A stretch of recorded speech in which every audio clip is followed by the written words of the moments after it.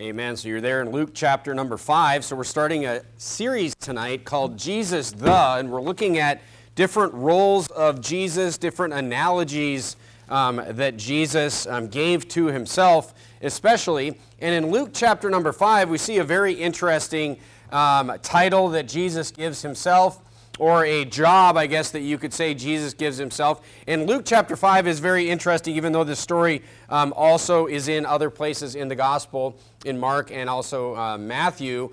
But um, Jesus here calls himself in verse number 31, he calls himself a physician. All right, he calls himself a physician. But what's interesting about this, so that's the title of the sermon tonight, is Jesus the physician or Jesus the great physician really. And what's interesting about Luke chapter number 5, before we even get into the story, is here we see Jesus literally healing people of physical ailments. We see he heals a man of leprosy. This is at the beginning of his ministry. And then later on, we see they lower the man who is sick of the palsy into, um, into the midst of all the, the big crowd of people in the house. They take the roof off and they lower him down, and he heals that man. But then what you see is a transition from the physical into the spiritual when he calls himself the physician. Because what's interesting, if you look down, verse number 27, so we're looking at Jesus, the great physician, tonight, all right? So we saw Jesus literally heal um, two people in just this chapter, but now Jesus is transferring this idea of him healing um, physical people to a spiritual sense. And of course, as I mentioned this morning, nobody gets it. All right, look down at verse number 27, where the Bible says, And after these things he went forth and saw a publican named Levi sitting at the receipt of custom, and he said unto him, Follow me. So the publicans are like, you know, the IRS agents, right? They're, they're uh, known to be. Um, they're known to be thieves and they're known to be dishonest. They're the tax collectors of the time. It was pretty much assumed that these tax collectors would be dishonest people and they were doing a, um, something that was not um, considered just, all right? Uh, so this publican, this tax collector named Levi, was sitting at the receipt of custom, and he said unto him, Follow me. And he left all, rose up, and followed him. And Levi made him a great feast. So Levi follows Jesus, and then he makes this great feast in his own house. And there was a great company of publicans. So he invites all his tax collector friends um, to meet Jesus and of others that sat down with them. But their scribes and Pharisees, these are the religious leaders, murmured against the disciples, saying, Why do ye eat and drink with publicans and sinners?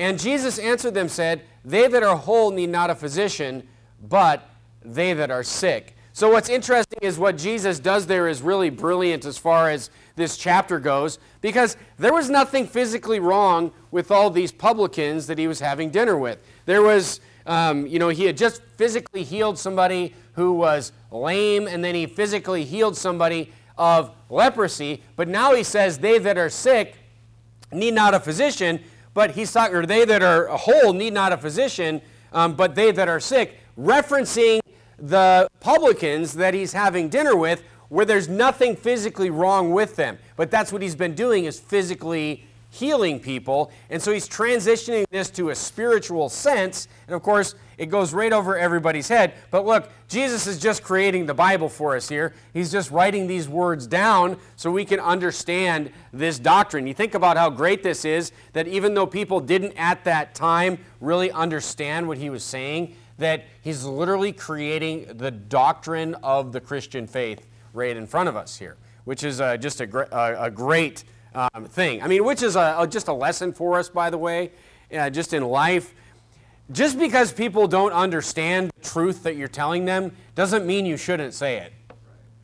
And just remember that. So just remember if somebody is saying something or asking you something, whether that be at the door or just in your life every day, and you tell them the truth, meaning the Word of God, you tell them that, and they don't fully understand it. Obviously, we can help them understand it, but even if it goes over their head, we don't need to dumb things down for people, all right? We just need to speak the truth, no matter the audience, and you know what? Maybe you'll spark a thought in somebody, even in, in somebody that's not really interested in hearing the whole truth. You just speak the truth and, you know, let it speak for itself, literally. All right? So that's what Jesus was doing here. He's just creating the Bible right in front of us. All right, but look at what he says in verse number 32. So we know that he's talking about not physically healing these publicans, but he's talking about them being sick uh, in a spiritual sense. And look at verse number 32.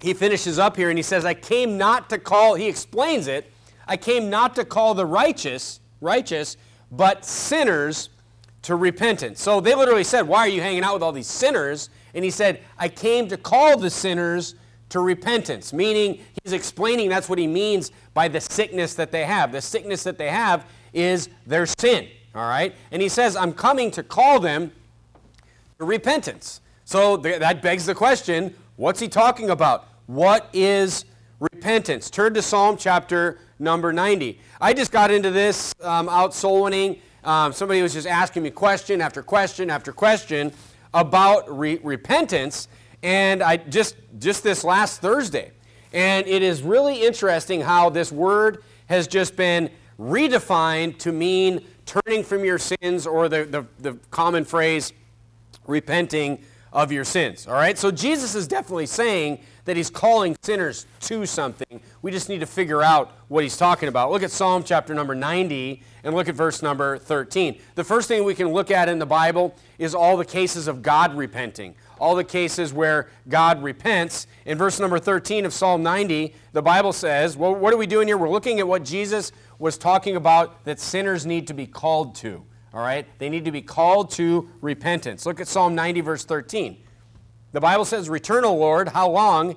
And let it repent thee concerning thy servants. So here we see people asking God to repent. We're asking God to repent. Turn to Jeremiah chapter number 18 and look at verse number 10. So, what would God need to repent from? And I'm going to show you that in the Bible, God can repent from both good and God can repent from evil, meaning harm or hurt or judgment that he's pouring out um, on somebody. Look at Jeremiah chapter 18 and verse number 10. So, up in verse number 5 of Jeremiah 18, you'll see that it's the Lord speaking, just so we get uh, a clear idea of who is doing the talking here, whose words this is. In verse number 10, Jeremiah 18 says, If it do evil in my sight, that it obey not my voice, then I will repent of the good. See, God is, he's, he's repenting of the good, wherewith I said I would benefit them. So repenting sounds like it's a change of direction, or what we're going to see here is a change of mind. Look at Jonah chapter 3 and verse number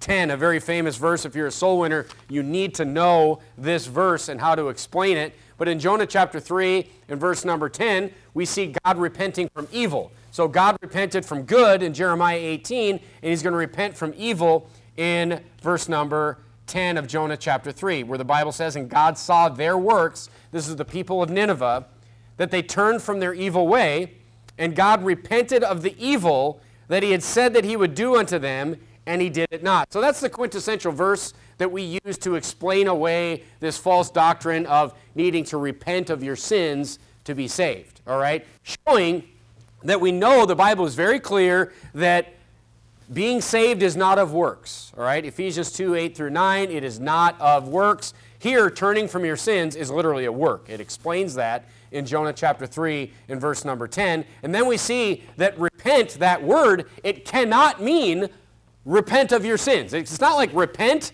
and repent of your sins are the same thing. It, it just doesn't uh, make any sense because God did all this repenting that I've been reading to you in these verses so far. So God repented, meaning what? God saw that they, as a city, they got right. As a nation, you can get right, and God can change his mind about when he's going to bring judgment. This is a, a good lesson for us in our nation today. We can get right, and God can delay his judgment upon our nation. God delayed his judgment on Nineveh in Jonah 3:10. And he said that he would do unto them, and he did it not. God changed his mind. And people will be like, well, God can change his mind? Of course, God can change his mind. God changes his mind all the time. That's what I've been reading for you here. You say, well, did God get it wrong? No. God changes his mind is proof that he truly gave us free will. We truly have free will to obey or turn against God with every decision that we make. And God, according to our free will, This is Calvinism destroying right here. According to our free will, can decide whether or not to change his judgment or reaction towards whether we are drawing closer to him, drawing nigh unto him, or turning our backs on him. From every decision that we make personally to every decision that a nation or the leaders of a nation uh, makes together. Not talking about salvation in jo- Jonah 3:10, just talking about a nation or a city getting right with God. All right? They, they turned, they, God saw their works. They turned from their evil way. That is repenting of their sins. They turned from their sins in that case. Not to be saved, but to be physically saved from the judgment of God in that case. All right? So look, repentance, all that to say this. We're looking at what Jesus was saying is that I call I came to call sinners to repentance. But see people like they see sin and repent in the same like verse and they're just like, "Oh, repent of your sins." Like, no, don't change the word of God. Don't flip the word of God around. Don't create your own. It's not like Mad Libs where you can just take a, a verse and just create your own sentence. Okay? So repentance cannot mean, the word cannot mean repent from sin. It cannot mean that. Why? Because God repented, and we know that in uh, 2 Corinthians chapter 5, that Jesus knew no sin. We know that in Hebrews chapter 5 that Jesus was tempted as we are. Hebrews chapter 4, he, Jesus was tempted as we are, yet without sin. God is the only one that is good. We looked at this morning. God does not sin. God does not have sin. It would make no sense that God would have sin to turn from or repent from. All right? So let's not add, you know, definitions. What does it mean so far that we've seen that God is doing? He's simply changing his mind. All right, now, now that we have this definition, let's test it out in the New Testament and see if it matches everywhere we see repentance in the New Testament. Because guess what? You cannot be saved without repentance. Right. Repentance is necessary for salvation. So don't just get allergic to the word repentance. We just need to explain to people at the door that have been brainwashed into this new definition of repentance. You literally look up repentance in the dictionary, you look up repent in the dictionary, and it says, repent of your sins. What? That's how deep this false doctrine goes. So we have to define it using the Bible itself, right? Look at Acts chapter 3 and verse number 19. So repentance, folks, it does not mean turn from your sin. It can't because God does not have sin to turn from. So, what was Jesus talking about? It appears that it means to change your mind because that's what we saw people asking God to do. That's what we saw God doing in the couple verses that we looked at. Look at Acts chapter 3. Let's test this out. Look at verse number 19. Repent ye therefore and be converted. So, that's a really great verse right there to look at as far as um, what repentance actually means because the very next phrase kind of defines what he's talking about. He says, Repent ye therefore, ye meaning a plural group of people, and be converted. So repenting means what? That they're converting.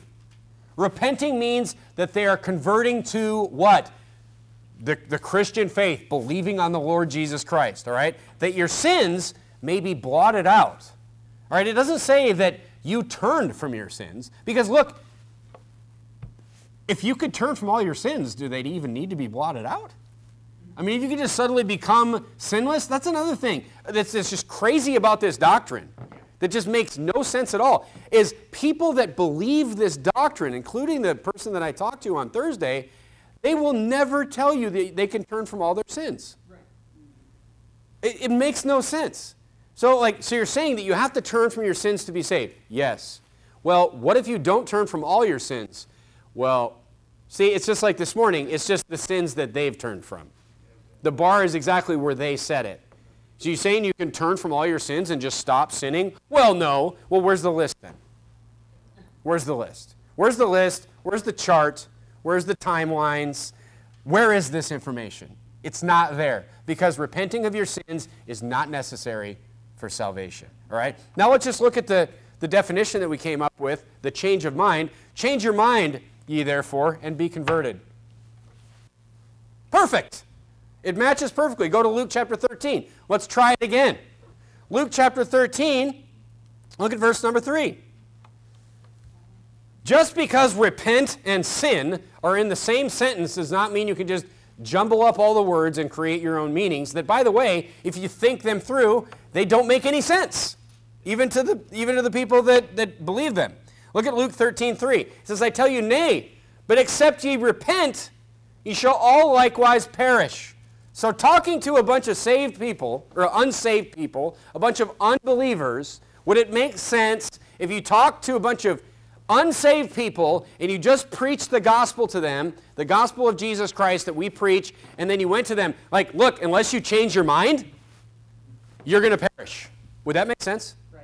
Of course it would make sense. Because exactly, that's exactly what it means. Look at Acts chapter 17 and verse number 30. Acts chapter 17, look at verse number 30. Acts chapter 17, look at verse number 30. The Bible says this, says, And the times of this ignorance God winked at, but now commandeth all men everywhere to repent. To what? Change their mind. Go to Acts 2.38. Acts 2.38. Acts 2.38. Now, if you remember in Acts chapter 2.38, and you just put a little reference to Acts chapter 2.38, because look, people will bring up Acts chapter 2 and verse number 38 to you on a regular basis. All right? Acts chapter 2, 38, make a little reference to Acts chapter 3, verse number 19. Because here, Peter is saying, Peter said unto them, Repent and be baptized. See, you have to be baptized to be saved. But what is he saying? He is simply saying, Convert and be baptized. He's saying, Become a Christian. Believe on the Lord Jesus Christ. Look, Acts 16 31 would not be true. I mean, it says believe. I literally read Acts 16:31 to someone just recently, the, this person, and I said, you know, look, Acts 16:31, like this simple question is asked, what must I do to be saved? And this is how complicated the Bible is. And the answer is believe on the Lord Jesus Christ and thou shalt be saved. That's how complicated the Bible is. And the person said to me, see, you have to repent of your sins. And I'm just like, I don't know we're done here, you know? And, you know, it's just, but that's how deep this, and, and look, that is not, that is not the 50th time that that's happened to me. That's happened to me dozens of times. Where you have people just so brainwashed into this repent of your sins, you literally read them a Bible verse that says, believe on the Lord Jesus Christ. Yes, see, repent of your sins. I'm just like, I don't know. I don't know. But see, it's talking about changing your mind. It's talking about being converted. And what's the first thing you should do after you're converted? You should be baptized. All right? But look, the Bible is saying here repentance is definitely necessary for salvation because, and this is very clear, this is very important that we need to, to always remember this. All right? We always need to remember this when we go out soul winning. People must change their mind. People must completely let go of what they believed before. You cannot, turn to Romans chapter 11, I'll prove it to you. You cannot just add Jesus. You cannot just believe all the other things, reincarnation, all these other things. You must. I was given the gospel a couple weeks ago. I think it was during the soul winning marathon. And I was given the gospel, and I was about three quarters of the way through the gospel, and it seemed like it was going pretty well. And then the gal brought up, well, yeah, I, I, I, don't know how we ended up talking about reincarnation. She mentioned something, and I'd be like, yeah, that's, that's Buddhist or Hindu, and, you know, they talk about reincarnation. She's like, I kind of believe that. And at that point, I knew that this lady, although she was going to listen to the gospel and it would be a seed planted, that she was not going to get saved. Why? Because she needs to let go of that. Right. It's not just agreeing with what I say here, it's letting go of all that stuff. It's not adding Jesus. We're not adding Jesus. Look at verse number uh, 6 of Romans chapter 11 to prove this to you. The Bible says, and look, this is a huge, this is the thing right here that separates us from the Protestants. The, and this is why, this is why I've said many times that I believe that the Reformation that everyone loves so much, look, we are not Protestants. We are not protesting the Catholic Church. The Baptist, the Christian, whatever he was called from Jesus' time to the independent Baptist now, was never part of the Catholic Church. We're not protesting anything. We didn't come out of anything. We were always just following what the Bible says. all right, about salvation. That's why so many people had so much trouble when they added baptism to salvation. They added all these different works-based doctrines of salvation. That's why people like literally went to their death to just keep the gospel the gospel because of Romans 11:6. Look at Romans 11:6. So, and this is also why I think that many times Protestants are harder to get saved than Catholics. And I've had that experience so many times, I can't even remember because they're so wrapped around the axle with this works grace mix that it is very hard to unwrap it. And what I'm talking, what I, the person I met on Thursday is a perfect example of that. Look at verse number six. But this is what, I mean, if you hear people, if you hear people in your life, Protestants, whoever they are, say, you know, why do you have to be so exclusive? We all believe in Jesus. Why do you think that everybody else is going to hell? And, you know, because we hold on to these things like eternal security. We hold on to these things like you know, it has to be full trust in Jesus and not some mix of, you know, the means of grace through works. But it is because of Romans 11, 6 and other verses like it where it says, and if by grace, then it is no more works. Otherwise, grace is no more grace. You see that? That's the, that's the problem right there. Look, if the Bible said so, I would love it if we could get together with all Protestant churches and it could be, you know, a mix of works and grace and, and just we could be all grace, whatever. But that's not what the Bible says. That's not what? That's not the truth. And if we go and pretend that's what the Bible says, what are we doing? We're just patting people on the back as they're on their way to hell. We're just saying, hey, great job, brother, and we're just walking them right to the edge of the cliff and watching them fall off. But we know what the truth is because, look, is that complicated? Is that complicated? Otherwise, grace is no more grace. It's saying if it's even a little bit works, there's no grace there. And we want people to have the grace. That's the gift. But if it be of works, and it is no more grace, otherwise, work is no more work. And you're like, well, okay, so that verse only tells me that it's either grace or works. I, I don't know which one it is, but look at the verse right before it. Even so, at this present time, there's also a remnant according to the election of grace. So he's saying the answer is grace. And then he goes and he says, it can't be both. It's one or the other. And by, by the way, it's grace. This is why you know, the Baptist has always drawn such a hard line in the sand and will add nothing to the gospel. But look, it, it, that's why, you know, when you're out soul you, you can't just say, like, hey, just believe that Jesus died for you on the cross. No, you cannot say that. I mean, say that, but you must follow up that it is salvation is only trusting in that and letting go of everything else. And it's talking about, what's it talking about? It's talking about changing your mind completely about what you believed before. And instead taking all that trust and putting it on Jesus, which is what? Is repentance. That's what it is. All right? So it makes, by the way, it's just, it's completely logical. It's completely logical. If you just think about it for just a little bit, you think about, you know, the means of grace and, you know, you have to go and you have to do the sacraments and all these different, however they dress up the works that you have to do. Or just even the fact that you could lose your salvation, that is you participating in your salvation. Because what causes you to lose your salvation? What causes you to lose your salvation is whatever that particular pastor makes up, first of all, but they're all works. It's all you not doing this or not doing this because there is no actual biblical list of things in the Bible that are the seven mortal sins or whatever, you know, some pastor or priest wants to make up. There's no biblical list of it. So it's just church dependent or, you know, whatever dependent on whatever that false prophet says. But the point is, it's all works that make you lose your, lose your salvation.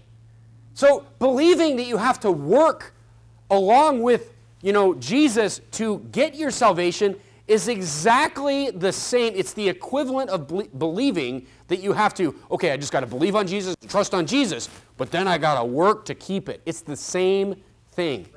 It's just these tricky, it's these tricky, veiled, works-based salvation. I mean, that's why you'll get you'll get soul winning with people, and you'll you'll hear people, what do you have to do to get to heaven? And this was my experience again on Thursday. What do you have to do to get to heaven? Well, I'm just trying to follow the Bible and I'm just trying to follow Jesus. I'm trying to go to church as much as I can and I pray as much as I can and do all the I, I, I, I, I, I. And then you go and show them like not of works. Of course it's not of works. It's just by faith. And, and then like again, like it, it just, you can't unwrap them. That's why the, the Protestant movement is many times, I mean, I've called it the devil's plan B. I've called it the devil's plan B because, like, the Catholic Church was just like completely off the rails.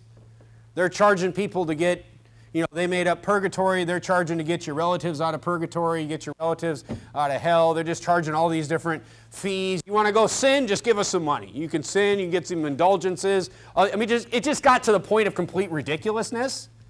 And Satan's like, all right, uh, more and more people aren't going for this because, like, the Bible's out there floating around. We're trying to burn them all, but we can't get them all. And the Bible's out there, and so we got the Reformation. It's by faith. You can get grace. It's, it's, it's by grace through faith, but you got to do some works to get the grace. It's, it's crazy, and it's completely confused people. All right, so look, repentance is talking about a complete 100% change of mind from unbelief or whatever other belief to belief on Jesus, to trusting in Jesus. Go back to, um, go back to Luke chapter number 5. Let's go back to the great physician here. That's what Jesus was saying. So what Jesus was saying, he was saying only people that realize that they are sick can be helped. What's the sickness? Well, the sickness is sin. The sickness is the sin condition that people find them in. That's why we start out with, for all have sinned and come short of the glory of God. We're trying to tell people you're sick. You got a problem here. We, then we go and we tell them what? We tell them that there's none righteous, no, not one, as we talked about this morning. And then what do we tell them? We tell them the wages for their sin. We tell them the consequences of their sickness. We tell them that, you know what, this sickness, this sickness is going to kill you. And it's going to kill you worse than anything on this earth can kill you. It's going to kill you eternally. It's like the worst thing you could possibly think of. That's why we spend so much time up front on sin, talking about the second death, talking about hell. This is, well, you know, in eternity in hell. This is why we go into that. I mean, it's a perfect analogy of Jesus the great physician or Jesus the physician here because think about it from the perspective. See, all people have the sickness, and this is what people didn't realize that Jesus was saying. He's like, no, no, no, I'm only here for the sinners. All people have the sickness. It's just some people there didn't realize that they had the sickness. The Pharisees and the scribes, they didn't realize they were sick. That's why it's such a perfect analogy of a physician. Because think about it. Think about uh, how much is a. You, you ever heard of that old guy that'll never go to the doctor? How much is a doctor going to be able to help somebody that will just never go to the doctor? What's going to happen? That person is just going to die of whatever happens to them. Maybe they live a long time, maybe they, they don't, right? But look, how about this one? How about if a doctor, how about if a doctor, I'll even give that person a little bit of help. How about if a doctor comes to their door? How about if a physician, even that person that's stubborn and will just never go to the doctor, they're sick. They don't realize they're sick and they're like, I'm not going to the doctor, I'm fine. But then a doctor comes to their door and that doctor says to them, Hey, what's wrong? What's wrong? And then you know what that person says? Just ask yourself how much the physician will be able to help this person. You know what that person says? You say, What's wrong? And that person says, Nothing. Nothing's wrong. They are terminally ill with the worst kind of sickness you could ever even think of. And they're like, Nothing's wrong. How much is that doctor going to be able to help them? You think about the doctor says, okay, you know, that maybe the doctor even knows something's wrong. And the doctor says, where do, you know, where's the problem? Where's it hurt? Eh, nowhere. As a matter of fact, I'm cooking some ramen noodles. Can you, can you leave me alone right now? I'm kind of busy watching, you know, episode 18 of whatever stupid series is still running for the last 20 years. But this is why people and why we spend so much time explaining to people that they deserve to go to hell. Because they need to know that they're sick and they need to know what this sickness is going to do to them. Period. But the people that are, and what Jesus is saying is very simple. What the physician is saying here is that people that are like, I am well, cannot be saved. Turn to Luke chapter 18. They cannot be helped by the physician. Maybe that's a better way of putting it. They can't be helped by the physician. They first need to understand that I am not well. I am not good. All right, look at verse number 9 of Luke chapter number 18. Jesus says this, he says, He spake a parable unto certain, unto certain, which, look at this now. He spake this parable unto certain which trusted in themselves, that they were righteous and despised others. Two men went up into the temple to pray, one a Pharisee and the other a publican. You see, you see why Jesus was so upset at the Pharisees all the time? Because what were they trust? They were trusting in themselves. The Pharisee stood and prayed thus with, it, with himself God, I thank thee that I am not as other men are, extortioners, unjust, adulterers, or even as this publican, tax collector. I fast twice in a week. I give tithes of all that I possess. And the publican, standing afar off, would not lift up so much his eyes unto heaven and smote upon his breast, saying, God, be merciful to me, a sinner. There's a man that knows he's sick right there. There's a man that knows he's in trouble. There's someone that the physician can help right there. And it's another, you know, turn to Matthew chapter number 23. But Jesus, this is why Jesus was so upset with the Pharisees and the scribes. Because look, the outside, well, we'll get to that in a minute, but look at another example of this in Matthew 23 and verse number 13. Jesus says, Woe unto you, scribes and Pharisees, hypocrites, for ye shut up the kingdom of heaven against men. For ye neither go in yourselves, neither suffer ye them to go that are entering to go in. Woe unto you, scribes and Pharisees, hypocrites, for ye devour widows' houses, and you make pretense long prayer. Therefore ye shall receive the greater damnation. He is saying the reason that Jesus was more upset and they were doing, he was saying literally they're going to receive a worse version of hell. They're going to go to a lower point in hell and suffer more for eternity because they are turning others away from the physician. It's not just themselves. It's, they're just not just a single person. They're, they're going to receive a greater damnation. Look, Jesus is saying these people are worse. And look, you have to understand that some people are worse than others because some sins are worse than others. The Bible is very clear about that. All sin, this all sin is equal doctrine is just a it's just another tool of changing the truth and it's people trying to justify evil to you.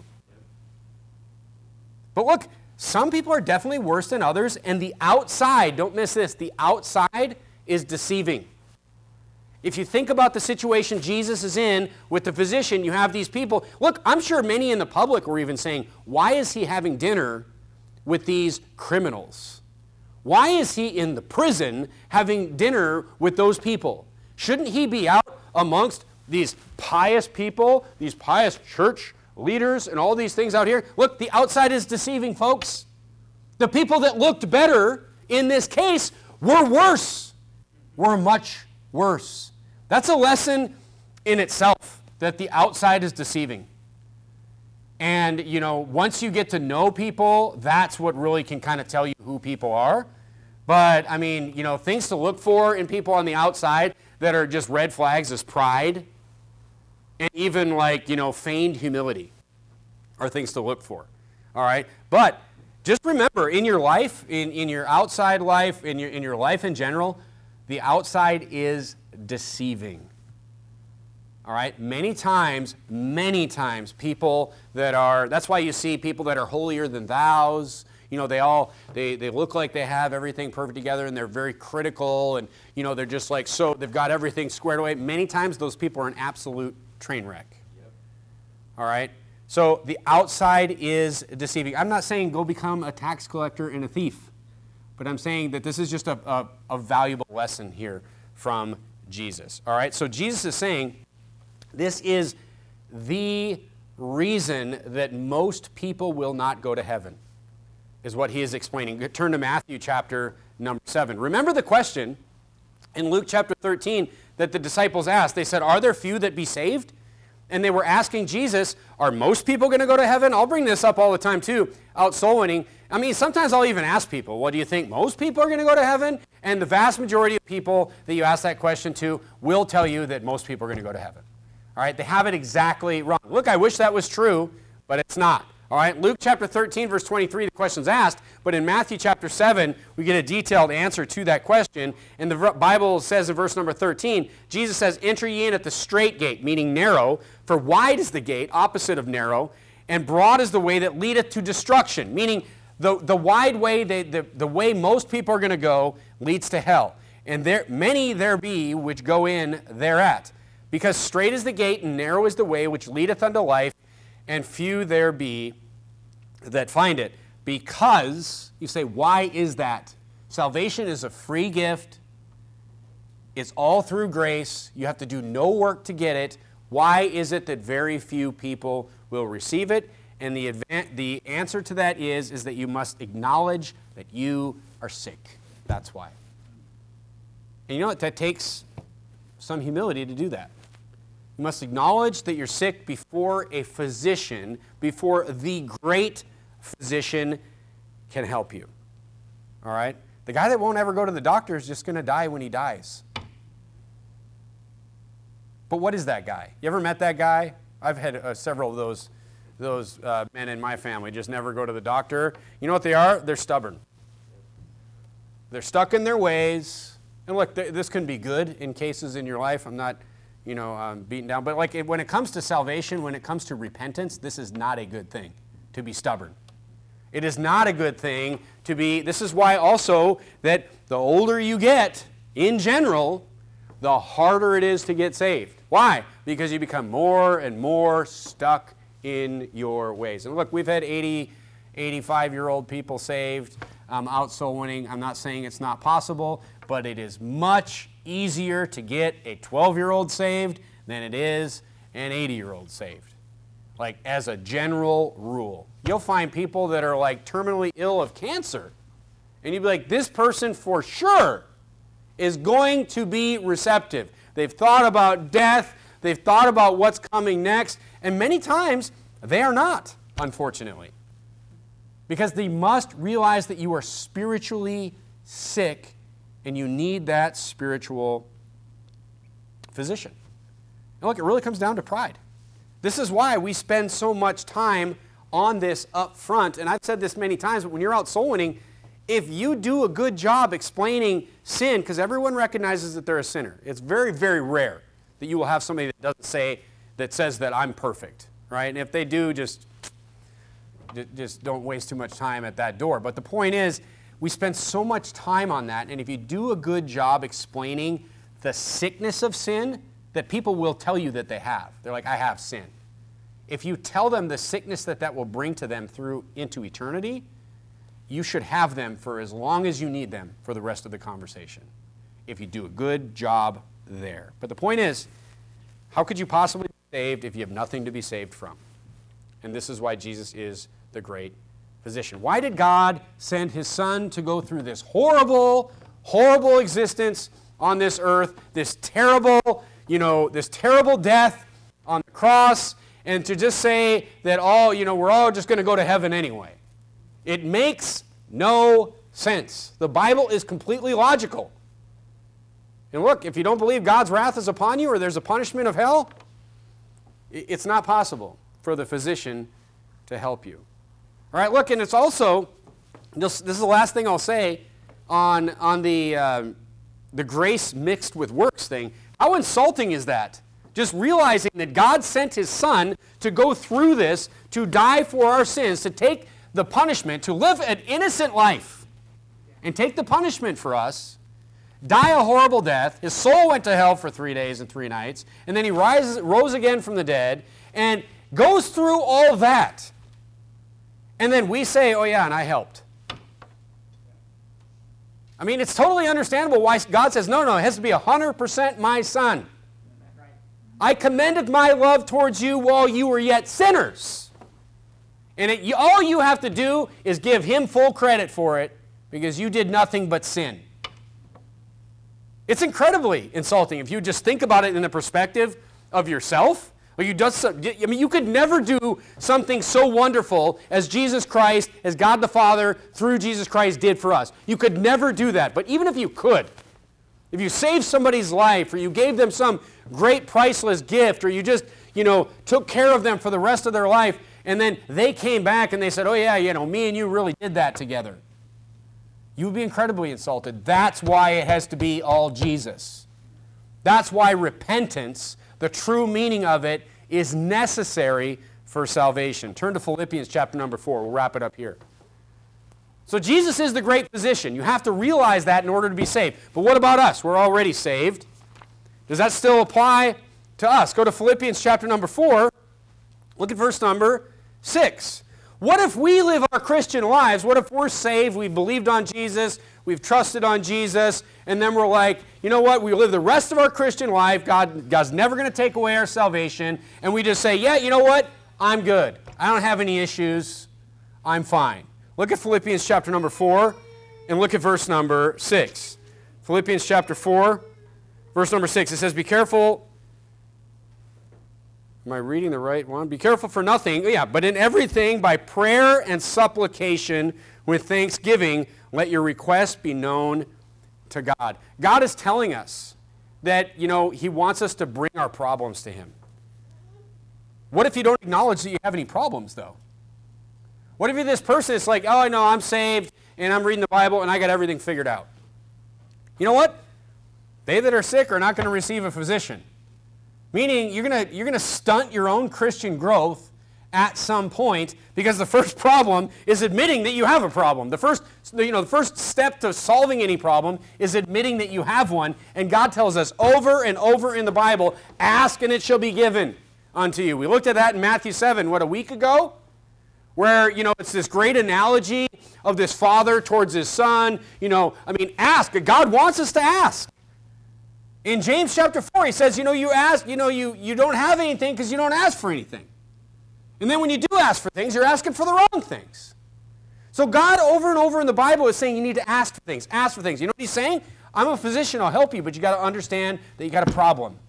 You got to come to me and ask. Look, I mean, that was such a great analogy in Matthew 7, and it was explained in a sermon a week ago, where God wants us to come to him like a father wants his children to come to him. Look, that hit home for me because I have, I mean, I'm getting to the point where I have adult children.